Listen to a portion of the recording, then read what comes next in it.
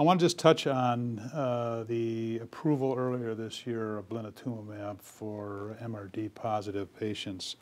I was frankly surprised that the uh, FDA approved uh, blinatumomab in that setting. A number of years ago, they said MRD is an endpoint they weren't going to consider. In fact, the study that showed the promising results was actually done in Europe because uh, it wasn't felt that that would be accepted here in the U.S. But you know, with blinatumomab, I mean, they saw an outstanding response rate. 80% of patients converted from MRD positivity to to uh, a negativity. Uh, so it's quite quite uh, impressive data, and, and the drug is, I think, tolerated better in that setting uh, as well. Um, so how are you using blinatumomab in this setting? The hardest thing for me is identifying that MRD positive patient when they're still MRD positive, and that's why I mentioned that I've increased the the my duration of monitoring for MRD in my adult patients to try and pick up on these relapses. When that paper first came out, the first first thing I did actually was was uh, not, I shouldn't say the first thing, but not not long after I emailed Nicola Gökbuget and I and I emailed Monica Brueggemann and I said, how are you how are you finding these patients? How often are you monitoring for MRD? Using allele-specific PCR because uh, I want to find them when they're MRD positive too.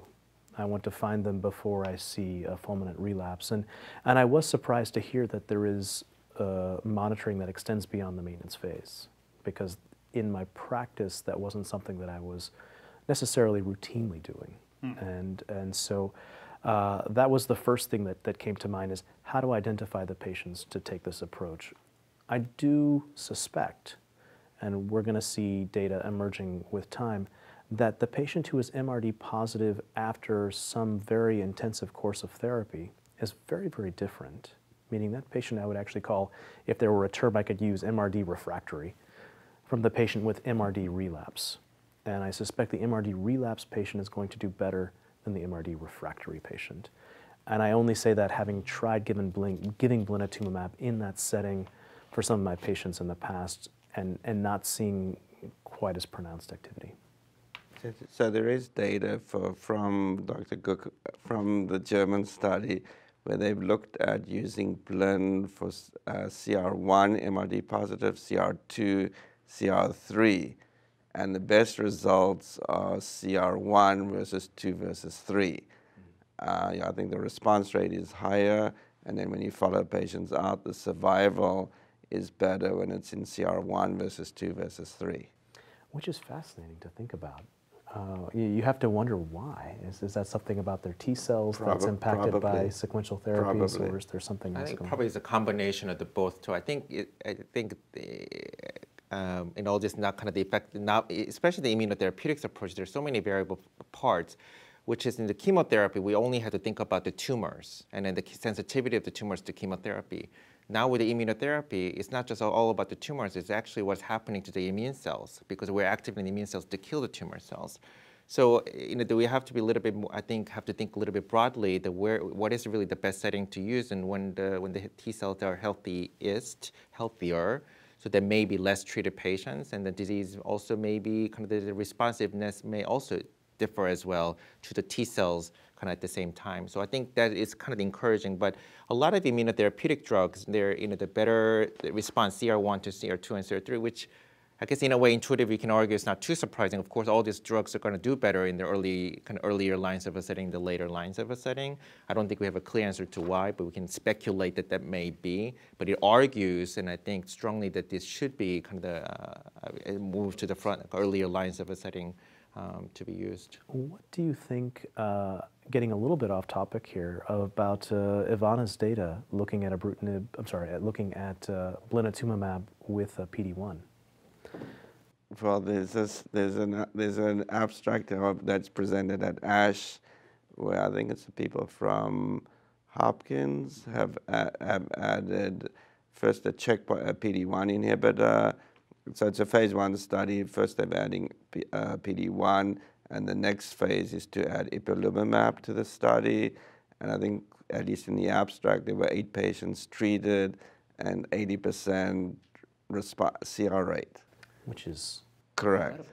So this is, I mean, it's only eight patients, so But These it- were MRD positive patients? No, these were relapsed refractory patients. relapse. Yeah, relapsed refractory patients. So PD-1 plus ipilimumab?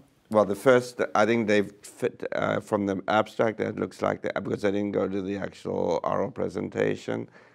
Uh, they've completed adding the checkpoint inhibitor, and I think the next cohort is going to add on the ipilimumab. They may have more toxicity I was going to say, on. with 80%, I'm not sure I Well, want to add that's the, that's that's correct. ipilimumab, Take but, what you have, expand the number of patients, and see what you get. but it is an incredible result. And, uh, and, and getting back to what you were saying about T cell exhaustion uh, and uh, how that may be influenced by the number of prior lines of therapy, perhaps. Uh, and, and that may be something that we're overcoming with, with, the, with this addition. I'm not sure. I'm just really excited to see it. I mean, there may be another place where you look at the new novel therapies, where you look at uh, blin versus CAR T cells. So maybe earlier on you would use blin. Later on, you may want to you, you may want to use CAR T cells to get a better response because I mean, CAR T cells with MRD disease has a very good response rate. I think that's also extraordinarily controversial. Depends on who you ask. well, if you ask me, I say yes, that's a great idea. But I think some of our pediatric colleagues may, may uh, have, have expressed some concern about CD19 loss and, and how that may be influenced by uh, blinatumomab. I think that's a very important point to, to raise, though, and I have my own opinions about kind of using kind of these type of an agents. Is uh, depending on what is available in the CAR T cell therapy, and at least in adult ALL, there's not approved uh, uh, product available at, uh, after the age of 25. It's hard to deny an effective therapy, kind of in anticipation of still an investigation agent. But at the same time, I don't know whether in if you- they're refractory to blinatumomab or CD19 directed therapy, they are going to retain the CD19, and you know whether it's going to be really bad or not. I don't, you know, we don't know, but I don't think so. But if they do become CD19 negative, that means they responded very well to the therapy, and therefore, you know, who knows, they may not have really benefited from the CAR T, and maybe you should uh, kind of uh, pursue another approach. So, for that matter, I think it's hard to argue not to give blinatumomab, but you know, sometimes it, it, I don't, just don't think we enough uh, we understand enough Sometimes I think actually getting some CD19 dir- uh, directed therapy with B cell depletion before may actually help the CAR T cell therapy to work better. You actually may debulk them a little bit before CAR T cells go in, and there's an antigen kind of competition. But T cells may expand slowly because the blinatumomab is binding or another CD19. Therefore, you may get a slower kinetics of T cell expansion and less toxicity. And then maybe kind of that's a good of a response. I mean, Exactly. And this is always- this is always- speculate. Exactly. This Yeah, but also in future, if, if you do use blood and they lose their CD19, you're going to have CD22 CAR T cells available. So And hopefully, yeah, and hopefully that also pans out. But it does bring up the, the need for randomized trials. I Yep. think I think that's really what the, Yep. you know the take home point is. A lot of this is retrospective, uh, and there's so there's always going to be some hand waving that's part of that. Um, but uh, we need to. I mean, because to, to your point, it could be that you want to treat with blinatumomab to ferret out your, meaning if you believe it, it's a pre-existing process to ferret out your 19 negative clones, because now you've just saved some umpty thousand thousands of dollars, and not exposed that patient to CAR T, knowing that they would have uh, emerged with a 19 negative relapse in, um, in the same context. So also think when we're using blin for MRD positive disease, uh, most patients, so if you're worried that a patient's going not to respond to the blin, you can do a bone marrow at around day 14, day 15, and you'll know because by that time most of uh, most patients will have already become negative. negative, and also you can make sure that the patient isn't progressing through the blin, uh, so you don't lose uh, lose anything.